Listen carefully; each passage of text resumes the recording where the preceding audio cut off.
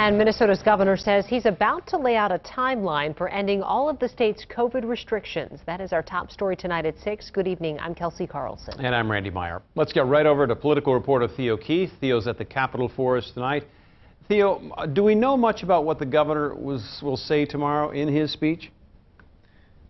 Well, Randy, a spokesman for the governor says that Tim Walz is going to announce a timeline tomorrow for ending all of the state's COVID restrictions. That does not mean that all of the restrictions are coming off tomorrow, just a date in the future or possibly benchmarks to reach in order to remove them. From bartenders to fitness trainers, a huge part of Minnesota's workforce will be paying close attention at noon Thursday. Restaurants and bars have been shuttered or severely restricted for more than a year. One Republican lawmaker who owns a cafe and bar says it's time to be open 100%. I'm, I'm stuck. I'm, I'm at a standstill because I can only turn the table so fast. I can only put so many people in the seats. You know, so it, it is hard. Governor Tim Walz's administration has been debating the changes internally for at least a week.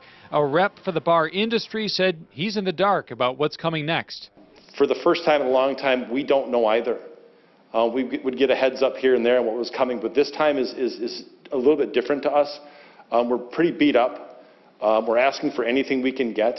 Walz has said little about the specifics, but Tuesday he appeared ready to link a reopening timeline to a vaccination target of 70%. And that changes the entire calculus. At that point in time, as I've said, I think Minnesotans should start assuming that they're going to have a very normal looking summer. As of now, 59% of Minnesota adults have gotten a shot. But Minnesota's vaccination rate has been slowing. On the current pace, it would take until late June to get to 70%. Uptake varies widely across counties. Several are at or approaching 70%, including Hennepin and Ramsey. Others in central and western Minnesota are stuck in the 30s.